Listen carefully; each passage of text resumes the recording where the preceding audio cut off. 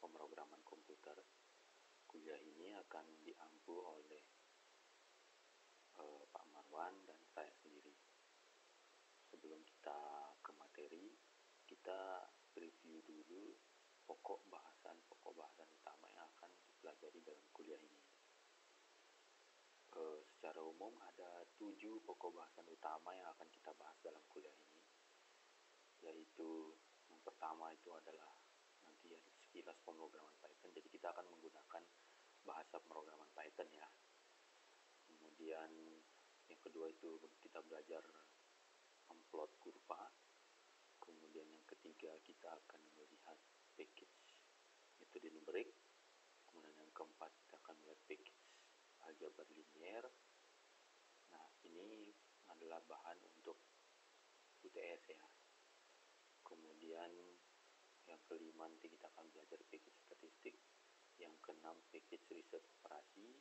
Kemudian yang ketujuh adalah persamaan diferensial. Nah, uh, eh, UTS dan UASnya sih sementara ini kita paketnya menggunakan project ya. Nah, kemudian uh, untuk hari ini kita akan cuma membahas uh, yang bab pertama ini yaitu uh, mungkin sampai kondisional ya.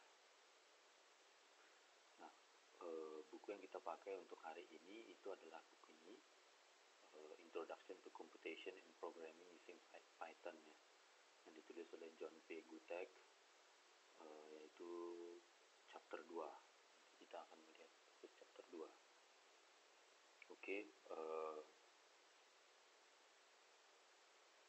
uh, kita akan menggunakan Anaconda di sini ya. Jadi software yang kita gunakan itu adalah Anaconda ya versinya mungkin versi 3.7 gitu ya. Jadi bagi kalian yang belum menginstal bisa kalian download Anaconda-nya di di sini ya di anaconda.com produk individu slash individual ini ya.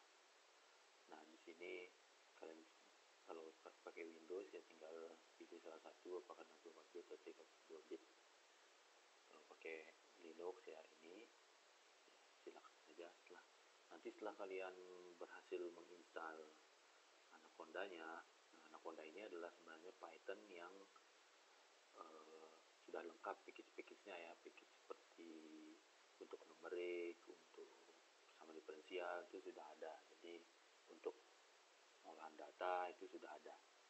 Nah kita kalau suatu program itu kan eh, bahasa program itu kan biasanya ada compiler ada tempat menulis perintah gitu ada ada apa namanya ya editor.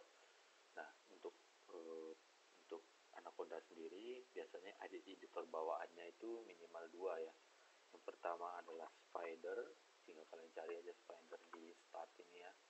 Nanti akan muncul ini. Nah kalau kalian klik ini nanti akan muncul kira-kira seperti ini.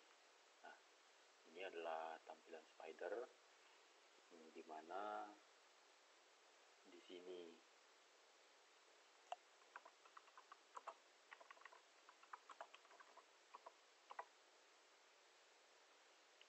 sini adalah tempat kita ini adalah uh, seperti command window lah. Maksudnya input output output program kita itu akan muncul di sebelah sini. Kemudian di sebelah sini adalah tempat kita mengetik scriptnya ya. Jadi, tempat kita mengetik uh, perintah atau sintaks Pythonnya. nah uh, ya ya bisa dicoba kalau misalkan kalau cuma mengetik satu perintah ya satu plus satu katakan gitu itu akan keluar di sini outputnya. Oke nah cara kedua biasanya yang bawaannya Anaconda itu adalah namanya Jupyter Notebook. Jadi kalian cari aja Jupyter Notebook. Kalau kalian klik ini nanti akan muncul di browser kalian biasanya seperti ini homepage dari Jupyter Book yaitu localhost ya. Nah kalau ingin membuat sintaknya bisa kalian pilih new di sini kemudian pilih Python 3 maka akan muncul uh, seperti ini yang mirip dengan command window di di spider. Ya nah jadi sama ya kalau saya ketik satu tambah satu maka kalau saya kalau saya pilih run di sini akan dua gitu ya nah tapi yang akan kita gunakan di kuliah ini adalah yang ini yang lebih fleksibel ya menggunakan spider. Oke kita mulai saja. Uh,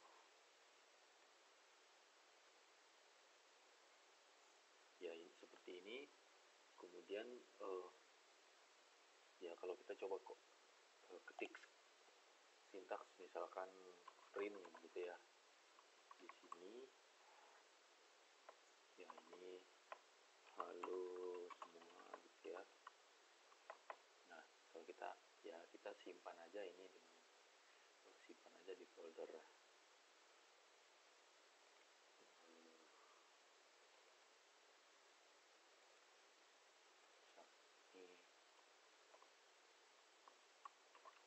Pencom satu gitu ya.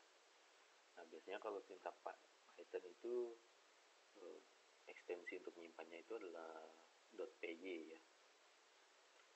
Oke. nah kalau mau run ya tinggal tekan F5 atau tekan tombol play. Ini maka nanti akan keluar halo semua ini nah ini ya. Nah ini ini.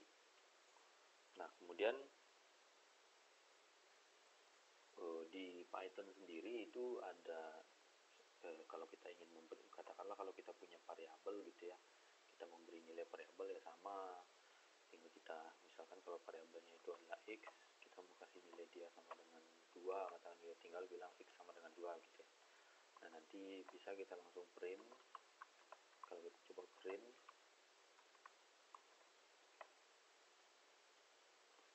ya tinggal isi x sama dengan x gitu ya. Maka nanti akan keluar kalau kita run itu x sama dengan 2 gitu di bawah sini ini. Nah, jadi nah itu mudah memberikan nah nilai ke variabel nah bila tipe-tipe bilangan yang ada di Python itu ada ada beberapa ya ada ada integer integer itu biasanya int gitu ya. Ya kita bisa ya kalau integer nulis saja bilang misalkan contoh uh, kalau x sama dengan dua ini kalau misalkan kita ini kan bilangan bulat ya. Nah bisa kita tahu dengan cara kalau kita mau tahu tipe bilangannya apa ya type x gitu ketik aja di sini maka kalau kita enter itu akan keluar int artinya sini adalah bilangan bulat. Nah, ini juga bisa kita kita lakukan di di script ini dengan cara kita print type dari x gitu ya. Nah, kalau kita run keluar kelas integer gitu ya. Nah, seperti itu. Kemudian ada yang lain kalau bilangan real ya bilangan real atau bilangan yang ada yang Eh, lebih luas dari integer itu biasanya namanya di sini float. Jadi contoh float itu misalkan kalau saya tulis di sini y sama dengan 2,5 ini kan bukan bilangan bulat lagi. Jadi cara menuliskan koma di sini pakai titik ya kalau di di, di Python. Jadi ini adalah sama dengan dua setengah. Ya, ya bisa di sini juga kalau kita uh, kita kita print tipe tipe print tipe dari y maka nanti akan keluar float di sini ya yang ini nah, jadi itu adalah bilangan real. Nah kemudian beberapa operasi yang yang ada biasanya dipakai di di bilangan di bilangan itu adalah tambah ya kita, kita bisa print langsung di misalkan z itu sama dengan x plus y gitu ya, ya artinya uh, kemudian ada a sama dengan kalau perkalian ya x kali y gitu. Kemudian kalau bagi ya tinggal misalkan b sama dengan x bagi y gitu ya. Ini bisa kita print semua. Print ya, ada cara lain print misalkan. Kalau mau itu pakai F. Gini ya. Hasil hasil jumlah antara x antara nah di sini kalau mau langsung variabelnya x dan y adalah z gitu ya. Z. Kalau kita coba run nah ini ya hasil jumlah antara 2 dan 2,5 itu adalah 4,5 jadi di sini kalau kita mau langsung dalam satu kalimat begitu ya jadi tidak perlu lagi begini ya misalkan ditutup dengan kalau ini kan ininya baru variabelnya gitu ya. Nah sekarang kalau ini dalam satu kalimat langsung uh, ya tinggal f kemudian pakai pakai tanda apa tanda, tanda apa namanya tanda quote gitu ya. tanda quote gitu ya. Nah kemudian kita ketik kalimatnya. Nah untuk variabelnya kita taruh di dalam kurung kurawal seperti ini. Ini tadi nilainya x itu adalah 2 kemudian y nya adalah 2,5 z nya adalah x tambah y. Nah di sini bisa kita lihat langsung tercetak angka nilai variabelnya tercetak langsung. Ini cara lain untuk print agar dalam satu kalimat gitu ya. Tidak capek-capek memisah seperti ini. Oke begitu juga kalau kita mau print misalkan oh, hasil kali. Ya tinggal kita bilang di sini hasil kali antara ini maka kita kita ganti dengan a di sini. Gitu juga kalau kita mau print hasil bagi berarti kan di sini B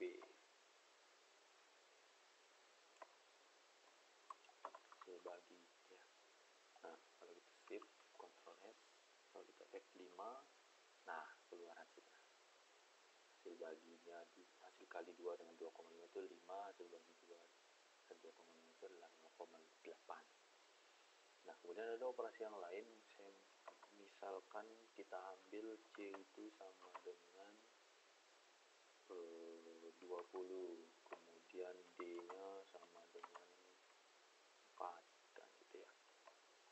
Ada operasi lain yang juga eh, yaitu ada pangkatan dan biasanya modulo kalau kita ingin menghitung misalkan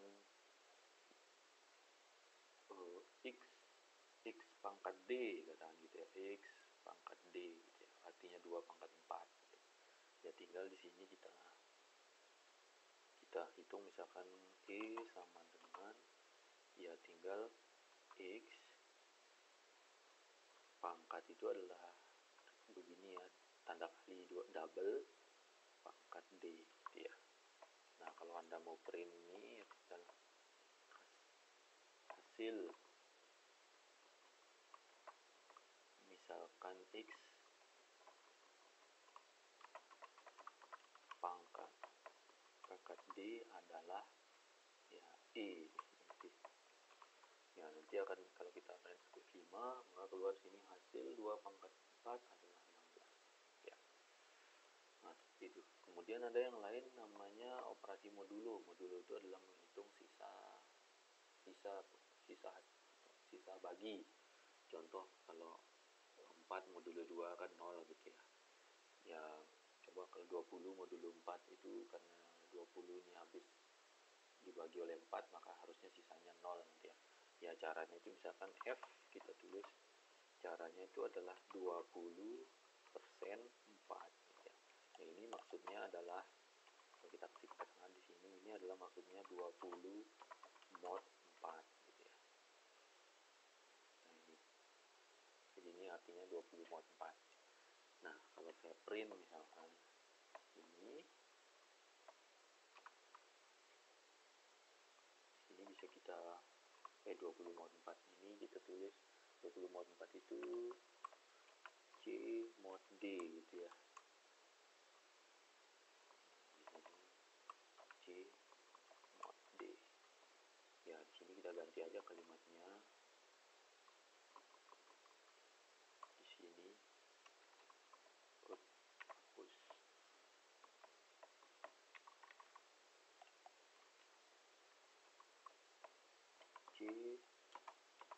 mod D sama dengan ya, sama dengan F ya. Nah, coba kalau kita run, nah di sini adalah benar ya, 20 mod 4 itu adalah 0 ya. Jadi, nah kalau kita ganti misalkan C-nya menjadi 2 21 gitu, berarti kan harusnya nilainya satu ya. Ya bisa kita coba run ulang, maka ini pasti 20 21 mod 4 itu adalah satu. Nah, itu beberapa operasi standar yang ada di e, bilangan baik integer maupun float atau bilangan real ya. Nah, kemudian e, yang paling penting juga yang kita review itu adalah kondisional. Ya, kondisional itu adalah yang ada if-if-nya yang ya kalau kita kembali di sini misalkan kalau kalau kita ini misalkan kita punya jika x itu nilainya 2 maka kita cetak cetak 2 2 kali x itu katakan ya nah kalau misalkan kita kalau kita punya kita punya program yang kita mau Eh, kalau X itu nilainya 2 maka kita cetak 2X gitu. nah ya ini adalah prinsip kondisional gitu ya nah kalau mau yang seperti ini ya biasanya dipakai untuk untuk misalkan memprint nilai gitu gitu ya ya kita coba buat di sini. Jadi kita kasih batasan dulu. Ini kondisional ya ini sama. Jadi kalau misalkan kita ya tinggal pakai if x sama dengan 2 nah di sini tuh kita pakai titik 2 enter. Nah di sini kita print kita print 2 kali x ya. Nah nah ini sangat sangat penting ya uh, ini namanya indentation. Indentation itu adalah yang ini uh, spasi yang ada dari dari ujung sini ke sini ini indentation namanya ya. Maksudnya kalau di Python itu kita kita kalau misalkan ada perintah if katakan gitu ya. Nah semua yang berada di dalam jadi satu di dalam indentation ini ini adalah semua perintah yang dilakukan kalau if ini terjadi. Nah kemudian yang kedua adalah kalau sama dengan kalau di kondisional itu biasanya menggunakan double gini gini. Ya double sama dengan ini. Nah ya coba kita run aja. Kebetulan x nya di sini nilainya dua kan yang ini kan. Nah harusnya nanti terprint 4 ya coba aja kita lihat. F5 nah ini benar ya. Ini ada kena cetak 4 di nah, nah kemudian kita juga selain misalkan bagaimana kalau x tidak sama dengan 2 yang misalkan di sini eh, misalkan selain itu misalkan cetak 3x itu katakan ya. Misalkan oh, berarti kalau x nya tidak sama dengan 2 maka harusnya nanti dicetak 3x gitu ya nah eh, ya kalau kita di sini sintaks selain itu itu eh, di kalau di Python itu kita menggunakan else else titik dua enter. Nah ingat indentationnya. Jadi kalau kalau misal uh, yang di bawah else ini eh, ada indentation maka semua yang di indentationnya else itu uh, apa yang dilakukan gitu ya kalau else berlaku gitu nah di sini kita tulis tadi adalah print 3x ya. oke sekarang kalau kita run tentu saja yang diprint masih 4 karena saat ini x nya masih sama dengan 2 kalau kita misalkan ganti x nya menjadi 3 katakan gitu ya maka harusnya yang ujung yang paling bawah ini nanti akan nilainya 9 gitu ya, ya coba kita run. Nah di sini ada keluar 9 gitu ya. Hmm, jadi else nya yang berlaku emang apa pengaruhnya indentation pak? Ya oke. Okay. coba sekarang kalau saya hilangkan indentationnya yang ini. Out nah, saya buat dia sejajar antara antara print dengan else. Nah di sini akan muncul tanda tanda silang gini ya yang mengatakan bahwa expected unintended block. Jadi ini pasti error kalau kita run ya. Udah kalian tidak percaya kita coba aja run nah ini. Ketik keluar error. Nah, sehingga perlu indentation. Nah seperti ini. Satu satu kali tap bisa ya. Nah kalau kita run lagi maka akan normal. Nah ini. Oke sekarang ini kalau hanya satu kondisi. Misalkan ada dua kondisi. Misalkan kita pakai atau misalkan. Misalkan di sini bisa jika x sama dengan 2 atau x. Misalkan lebih dari 5 gitu ya. Nah ini ada dua kondisi di sini. Maka caranya itu kalau ada dua kondisi begini tinggal kita tambahkan di sini or gitu ya. Or x lebih dari 5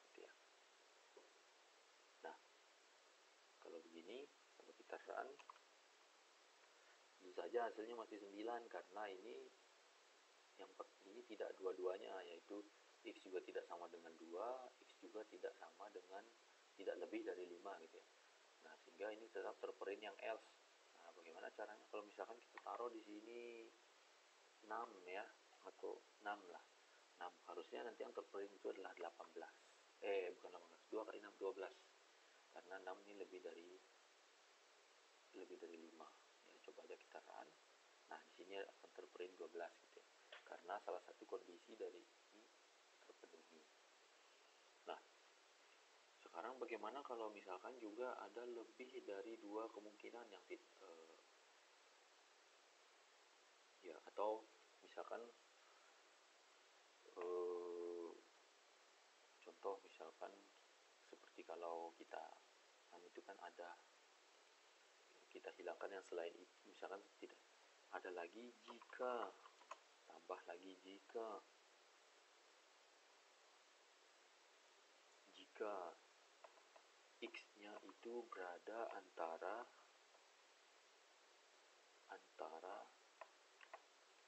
0 1 gitu ya. Misalkan begini. Jadi x nya itu lebih dari atau sama dengan 0 dan kurang dari atau sama dengan 1 maka yang kita lakukan misalkan maka cetak x katakan gitu. Nah berarti ini kan kita sekarang ada jikanya itu ada dua ya tiga dengan selain itu gitu ya. Jadi di sini satu kemudian di sini satu kemudian ada lagi selain itu ini jadi tiga. Nah sekarang di sini sebenarnya tersimpan dua kondisi ya kondisi yaitu kondisi di mana x nya lebih dari atau sama dengan 0 dan x nya itu kurang dari sama dengan 0 nah kalau kita menghadapi itu pertama kita tambahkan dia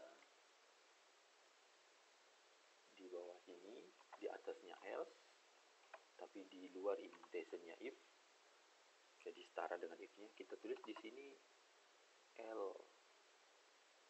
Elif. Nah, ini adalah else if ya kepanjangan dari else if. Nah elif. Nah di sini tuh kita taruh tadi kan harusnya lebih dari sama dengan 0 ya udah lebih dari atau sama dengan 0 dan kurang dari atau sama dengan 1 maka kita tambahkan n. X kurang dari atau sama dengan 1 titik 2 enter nah di sini katanya tadi perintahnya adalah kita print x. Ya. Ini lengkapnya. Nah kalau kita punya yang begini ini masih 6 ya. Nah sekarang coba kita in, uh, kalau kita run ya. Kalau kita run itu saja yang keluar itu masih 12 12 ini ya karena masih berlaku uh, x nya sama dengan 6 nah sekarang kalau kita ganti misalkan x nya dengan, dengan bilangan antara 0 dan 1 misalkan ya sama dengan 1 dah. Sama dengan satu harusnya yang tercetak yang terprint itu adalah satu. Nah ini ya. Satu bilangan satu karena dia berlaku yang ini. Bisa juga kita ganti dengan bilangan yang antara 0 dan 1 misalkan 0,8 maka yang terprint harusnya bilangan 0,8 ya. nah itu nah. Nah ini uh, ini kita juga bisa misalkan uh, masih ada lagi kondisinya misalkan kondisinya lagi jika jika x-nya itu berada antara dia lebih dari 2 x-nya lebih dari 2 kemudian kurang dari atau sama dengan 5 maka misalkan kita cetak cetak 4x ya nah sekarang bertambah lagi kondisinya. Yang tadinya adalah 1 2 3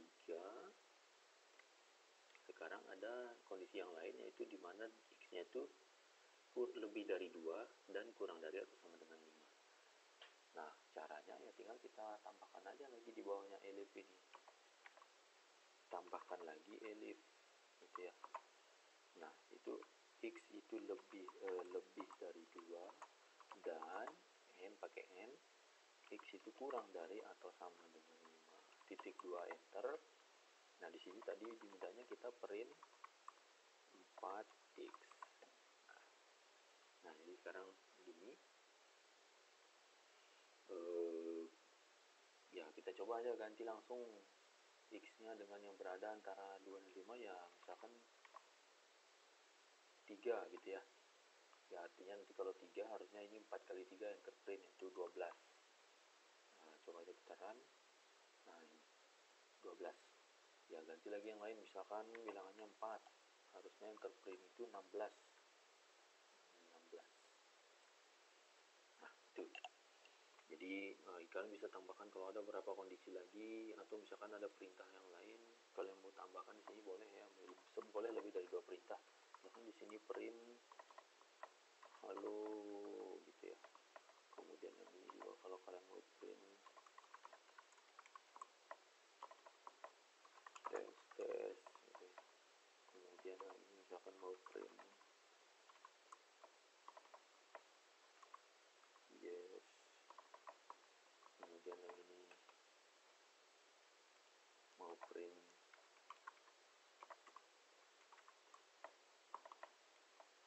no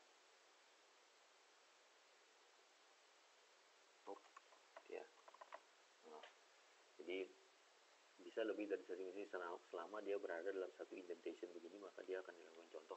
Tadi kan terakhir nilai x nya itu adalah 4 maka harusnya nanti yang terjadi itu adalah yang sebelah sini ya. Nah sehingga yang terprint itu harusnya 16 sama kata yes gitu ya.